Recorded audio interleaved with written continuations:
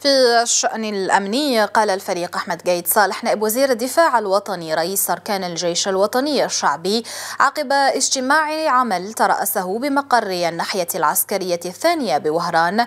قال إنه من يحاول عرقلة المسار فقد ظلم نفسه لأن الشعب اتخذ قراره وأضاف بأنه لن يسمح أحرار الجزائر بأن تعبث هذه الشرذمة بمستقبل الأمة.